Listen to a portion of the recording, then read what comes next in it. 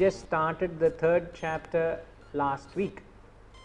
We spent considerable time on the introduction to the, the title of the chapter Yoga of Action, which is known as Karma Yoga.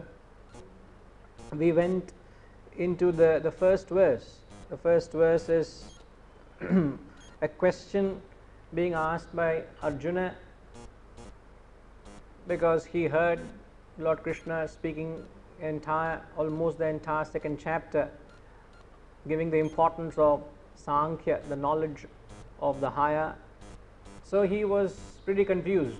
He is in a dilemma because he is in a battlefield. He is caught up in a, in a dilemma am I to fight this battle or am I to abandon this battle? And when he kept Krishna hearing so eloquently, advising him to, to gain this higher knowledge. So obviously he, he didn't know what is the right thing to do. First of all, he's already in a, in a, in a chaotic state, his mind is in a neurotic state, nothing is functioning. Wow. And then Lord Krishna, you know, in, in fact, we did mention this when we did the second chapter. Lord Krishna, when he did, when he spoke with the he started the Gita uh, with the second chapter because the first chapter is literally Arjuna's despondency. There's nothing much philosophy there. It's just the, the state of mind of any modern man today fits in exactly to what Arjuna was. Pretty confused, pretty, pretty lost. So when Krishna spoke, he actually spoke the highest philosophy, knowing well that Arjuna didn't understand a, word, knowing well that he was not following anything what was being said. Strange, but yet that's how the truth is. That Arjuna was no way capable of understanding what Krishna spoke. And as I've told you, the second, in fact, the, the, the end portion of the second chapter, known as the Sthita Prajna, we just concluded, is the, the gem of the Gita. He gives, he paints a picture of who is a, a realized person, a, man of perfection. And you need to be well equipped with the fundamentals of philosophy to be able to fathom what that is, what that state is, much less uh, an ill prepared student who was not in a mental steadfastness, he was not in a mental steadiness to, to follow or understand what was being said. So he purposely spoke the highest philosophy only to establish his authority, his superiority, or to men to just clarify that man, I am not your childhood friend. You have known to be all this while where we did all this mischief together. We stole butter, we did all the nonsense we did. I am not that childhood friend, I am someone else. So he had to establish his stature that Arjuna could surrender to him. And the best way is to speak which nobody will follow you. you know, today if any speaker were to very eloquently speak and perhaps speak in a language or use references or contexts which is not followed by the audience, such a knowledge he has got, so widely read and he is so brilliant because nothing you followed. But if someone were to come down to your level, break it down in a digestible form, in a takeaway, there is a great takeaway when you go to a classroom if someone puts in the effort, in fact, it is always said if the, it is easier, if it is easier for the student to follow, that much more effort the teacher has to put in. It is very difficult for me to just rattle off the Vedic truths. I have just came out of an online class just 10 minutes prior coming here I had a session. And we were analyzing a statement. And if I were to get into that I guarantee most of you will be blank. Because it was a different subject matter for a different audience who are prepared for that. So, what I am trying to say is Arjuna could not follow, he was in a predicament. So, that is what is clarified. The question in fact in the first verse he says, if you consider knowledge superior to action, then why do you, O Keshava, engage me in this terrible karma, the terrible deed, the ghora karma of trying to kill his own well wishers, his own kith and kin, his own guru, his own grandsire. I wouldn't get into it because we already covered that. We already did, we did mention that action per se is not right or wrong, it's all determined by the intent, the thought that backs the action. Here he knew that his, his relatives and friends and his near and dear were supporting an unrighteous cause. That was none of his reason to find out why they were supporting, but they were an unrighteous cause. So he was fighting a battle to set right or establish righteousness, to set right the adharma has taken over. There was total anarchy in that country. So as a leader, he had to set right dharma. So he was only trying to fight dharma. So he didn't understand that. He lost that vision of that purpose why he first of all got into this battle. So action per se is not good or bad, it depends on what is it that backs the action, what is the intent that backs it, that determines an action is either good or bad or neutral. Okay, so actually the question some uh, gets into the second verse, it concludes the question in two verses in fact and the third verse Krishna answers. So when you get to the second second verse you you know he doesn't understand he's completely lost Arjuna is completely lost. He wants serious help. Okay. So let's chant the second verse twice together. So please join me in the chant. Okay. व्यामिश्रेणेव वाक्येन बोधिं मोहयसीव मे तदेकं वद निश्चित्य येन श्रेयोऽहमाप्नुयाम् व्यामिश्रेणेव वाक्येन बुद्धिं मोहयसीव मे तदेकं वद निश्चित्य येन श्रेयोऽहमाप्नुयाम्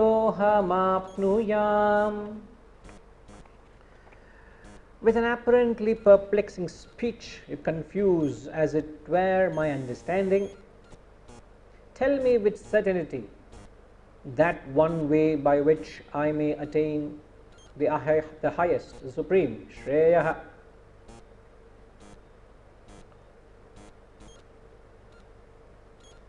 व्यामिश्रेणेव वाक्येन you seem to be speaking perplexed i am perplexed because you are speaking such language of confusion in fact, that is what a guru should do. The job of a guru is to confuse the student. You know why? So, if a student is confused, the teacher is doing his job well. It is said so, it is not my creation. It is not my imagination. That is how a teacher teaches is to confuse the student. A typical Vedic verse, I, I can't get a direct reference of that verse, where it comes from. He says, I know it, not that I do not know it, not that I do not know it, I know it. Avalda. Next verse, he moves on. So, when a student is listening to a master who has surrendered to him with complete faith and devotion that he is someone who knows the truth, he has not just knows it, he also has the capacity to, to teach me the knowledge. And here a guru says, I know it, I do not know it. Not that I do not know it, I know it. Now, do you know it or not? Huh? Please make up your mind, teacher. I do not know whether you know it or not. Am I to continue or am I to find another teacher இப்படிதான் And when they say what is where is where is that divine truth it is far it is near tadhure tadvantike tadantarasya sarvasya this is the description of brahman god where is god tadhure tadvantike it is far it is outside it is inside uh, where is he? It's outside, inside. Where means outside, inside. Where is this? It's near, it's far. Is it far or near? It is near, it is far. It is far for an extroverted seeker, it is very near for one who is well qualified, who is not developed. He needs to go great journeys to see God. In fact, Muhammad said this to his to people who he saw who were going on camel's back towards Mecca through that sand in the desert. So when he saw them on the camel's back, he said, What you are seeking is closer than the neck of your camel.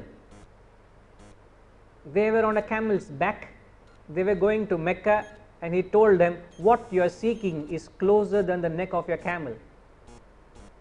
What does it mean? They were going to have a glimpse of the Lord, to have that spiritual experience, to which he said, It is right within men. So, one who has the capacity to discover it, realize it within, he would not need to take a journey outward. It's an inward journey. Why do you need to take an outward journey? It's right within you, but since you lack it, you need to go and search for it. Where? Everywhere. So, I should not lose my focus. What is the statement I made a little earlier? Confused. Now you may be confused. Why is he talking all of this? I am not gone out of my context. A teacher speaks a language of contradiction with the, with the only intention to make you think so that you are able to engage your faculty of reasoning. You think along with him. A teacher should not spoon feed you. In fact, the very truth was never taught do you know that? Do you know how was the truth taught? How was how were these teachings taught? Any idea? So certainly when you when a student went up to the master, just like you have come with a uh, with a desire to learn the Gita, so also in those Vedic times um, a student went up to the master to intend to learn the higher values. But what was that methodology a teacher used to teach this knowledge? And you get the, the cue which I already said a teacher in the olden Vedic times never taught. It all came much later. Question and answer alarm. When the teacher started teaching. But the first teacher never taught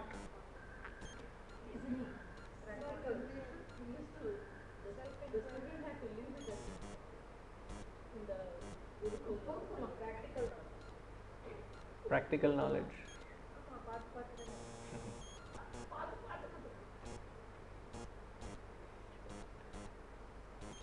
the teacher only help the teacher gave to the student was neti. Neti means not that. So they gave a direction for the student to think and contemplate. It is the job of the student to figure out what that meant and he contemplated, he gave it an original thought, he came to a conclusion, he went up with great reverence to the master and asked, Am I that? Because the only advice the, the teacher gave was Tat Tvamasi, that thou art, you are that truth. What is that? What is that Tat? So this fellow had to to dig deep. He didn't have any grounds to start his inquiry, but he inquired that what is that? Am I this body? Am I the mind? Am I the intellect? Am I the vasanas? Am I the causal body? What am I? What is this trait? What is that he is talking about? What is that? What is the characteristics of truth? And when he said, I am that, what is that? And they went about introspecting, contemplating, came to conclusions, and they wanted to just get that verification. The teacher's confirmation is it, is it that? And the only help teacher gave was Neti, not that. Ha. All the six months of effort, he just said no. Then what happened? The student had to go back and reflect again in a completely, entirely different direction, a different line of thought and come to a, a conclusion. He went up to the master again and asked, Am I this? The only help he gave was Neti. This drama went on for seven, eight times. The ninth time, the student didn't go back to the teacher.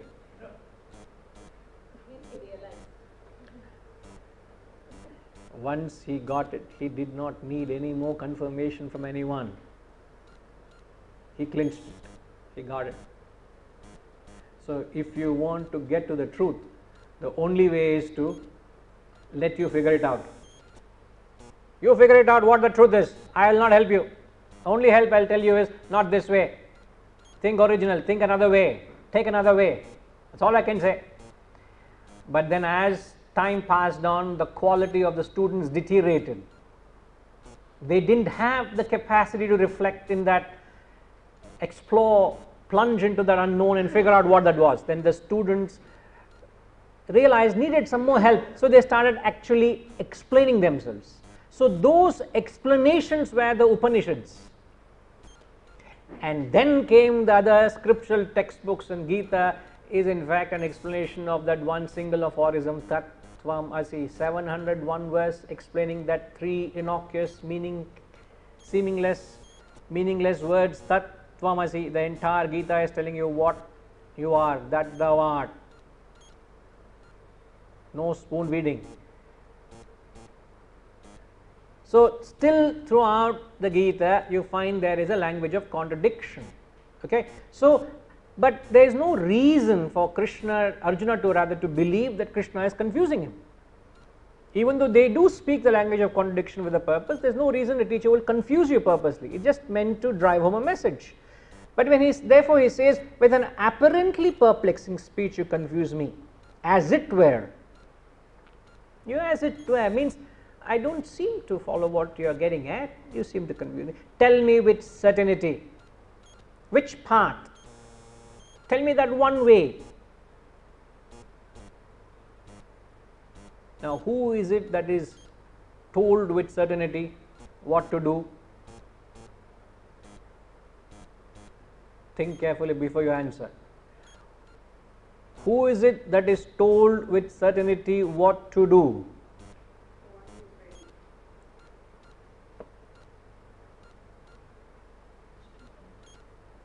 Everyone. How can you say one who is ready will be told what to do? No, I want to know the ra rationale behind it.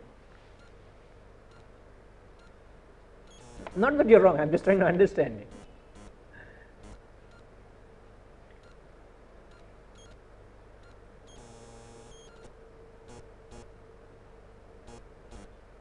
Would you think Arjuna is in that situation where he is ready to decide where he has the clarity of thought to take the right course of action? Yes or no? He is waiting for the Guru's instructions to clearly tell him what to do. Which, mean, which means he is confused.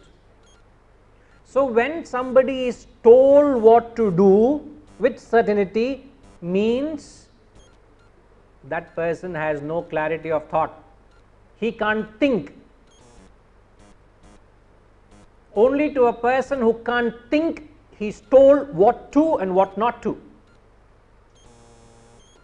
So, do's and don'ts are given to people to in fact they say do's and don'ts are not designed for humans.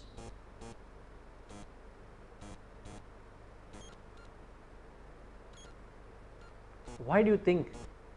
Analyze that statement for me anyone do's and don'ts are not designed for human beings. You don't mold people with do's and don'ts, especially when you bring up children. Today, when anybody is being advised, today children are only being told what to and what not to. That is a very fundamental principle of education you are violating. You should never ever tell a child what to and what not to. What's wrong by doing that? What is wrong in telling a child what to and what not to? Sudhakar Garu, today the senior is not there, so I can just only junior is there. అదే కదా junior కదా right why sir but it comes so naturally to just telling a child what to and what not to. You better don't do it you better do it. It's an authoritative dictatorship imposition isn't it sir? That is how we have seen. If you are objective and listen look around that's how these is how molding is going on in every home. Because of possessiveness okay? But what's wrong with that what's wrong with such an approach? Sorry? Oh, do anything wrong? Ah, there's nothing right with it. Ah, please understand that first. Sorry ma? The child would lose his ability to discern and decide on its own merit. It has you're not giving the freedom for a child to make a choice. You are doing all the thinking for the child. You're not making a child you're not helping the child grow. Perhaps you can help to analyze the for the child these are the possibilities if you choose this these are the consequences you choose that if I were you I would do this but its choice is yours.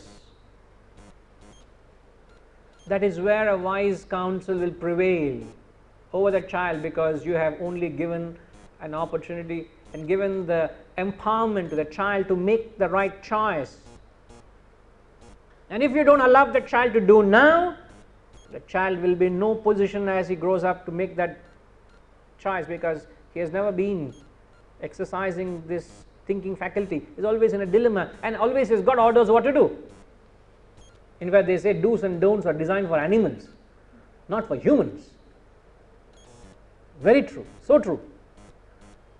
So it is very unnatural to be tell me decisively what to do am i to fight or am i to pick up the gita and read oh those days no gita no pick up something else and read Arjuna, Gita is a conversation between Krishna and Arjuna, so where is the Gita? So am I to pick up a, a, a scripture or am I to fight? Tell me certainty, he does not understand.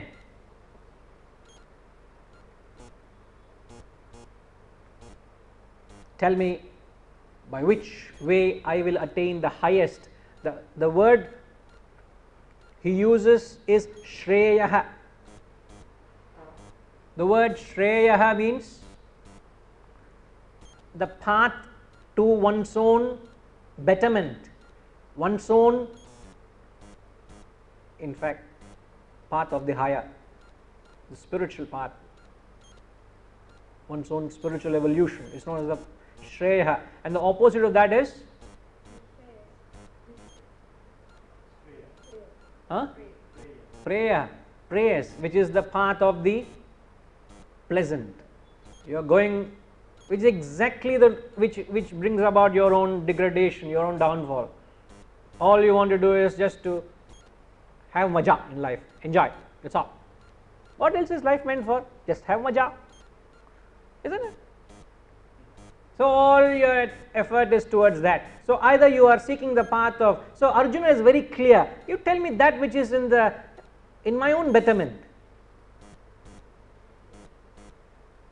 So in the two verses, the question comes very clear. Do you consider path of knowledge or path of action? Tell me with certainty what should I do? Are you all with me? Sir? श्रीभगवानुवाच। लोकेऽस्मिन् द्विविधा निष्ठा पुरा प्रोक्ता मया नघ।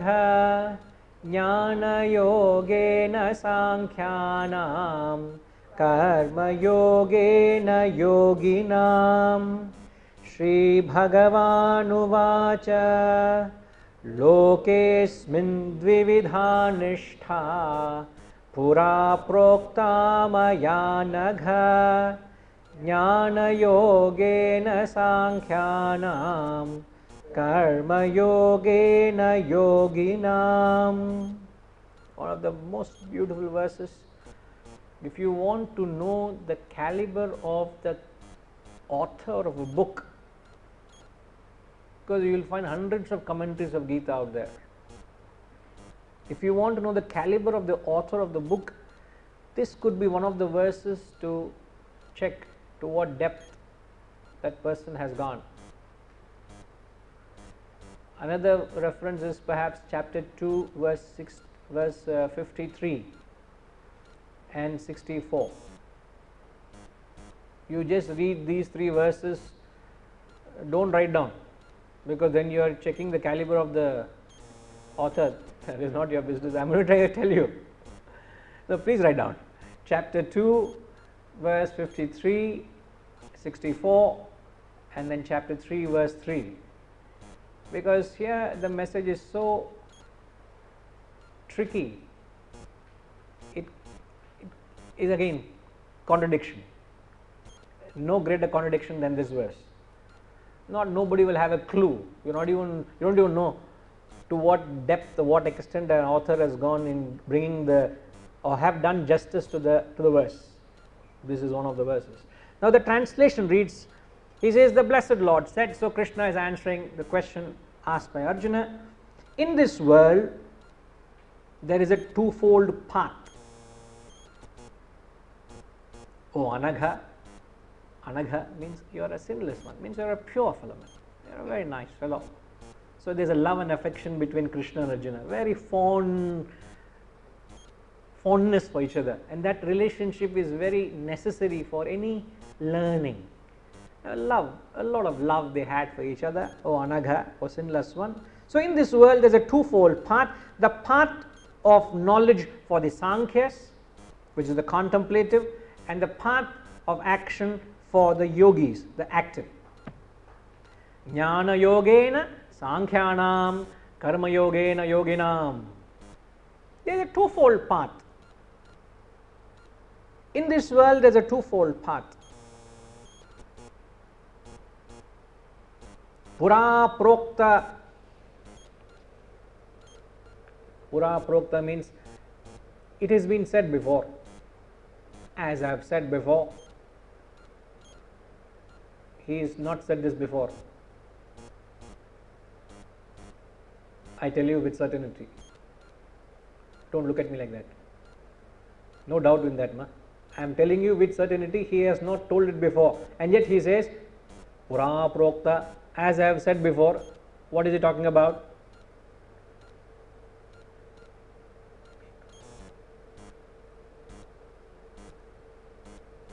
See, throughout the scriptures, there is always a reference to the gurus of yore the gurus of past. Including Krishna, when he says, It has been said before, I am only repeating what has been said. There is nothing new about it, man. Why are you asking me? So, when he says it is being said by the gurus, he is referring to that famous Guru Shishya Parampara, the preceptor disciple lineage which preserve this knowledge, which is one of the means of acquiring knowledge. So, are you following? Are you following, sir? Rastro? There are four ways of acquiring knowledge. Any idea? What are the four ways of acquiring knowledge?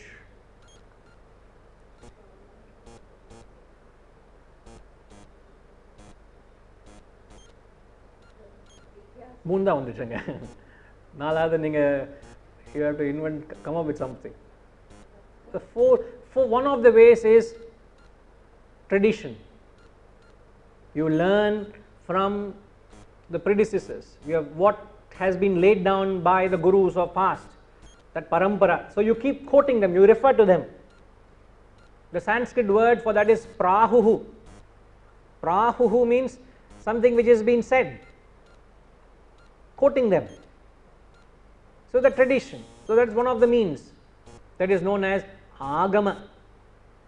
Agama means referring to something which has been laid down, referring to the Shastras, referring to the scriptures, the wisdom of gurus. That is what Krishna is saying. It has been said, man. In this world, there is a twofold path, as I have said before.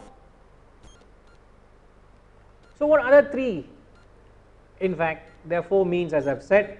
The four means of acquiring knowledge. First is pratyaksha. Pratyaksha means direct perception, where you have experienced it yourself. Sometimes uh, you could have been right at that corner of the road where you could have seen the accident happening right in front of your nose, right ahead of you, it happened there. So perhaps you could become the witness, and say, no, no, this fellow was responsible for the accident, not him. You have seen it through your own eyes. You don't investigate or infer through the, the accident. There is no what do you call, you don't study the crime scene or you don't go through the the post-mortem of all the things and infer this could have happened. No, no, no, direct perception, pratyaksha. The second way of learning knowledge is through anumana, through inference. You don't see it directly, but you infer it. What do you infer? How do you infer? For example, if you see far away there is thick black smoke coming, what do you infer? There is fire. Do you see fire? You don't see fire. But you have learned through inference.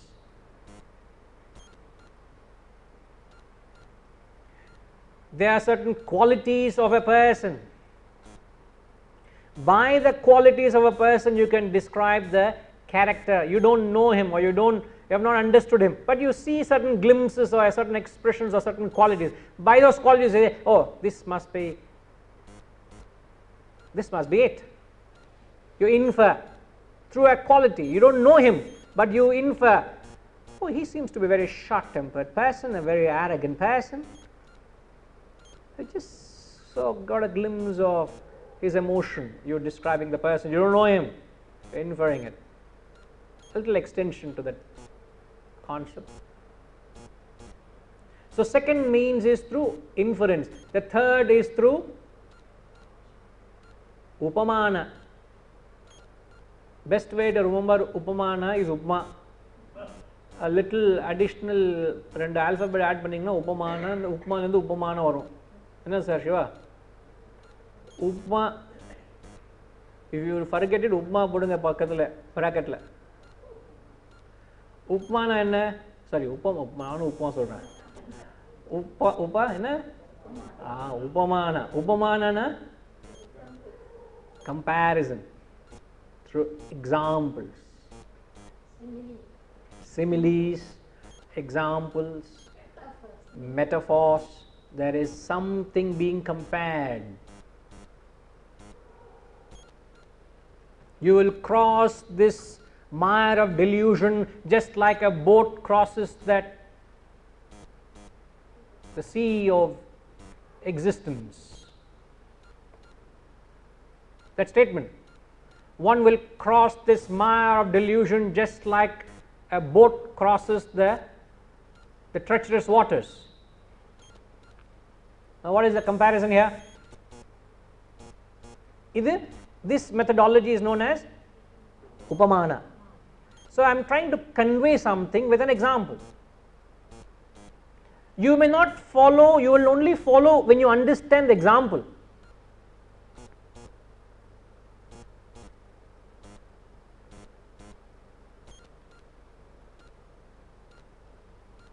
So you will have to break down the example to understand the concept the one of the statements we were discussing just now as i said i had this online session.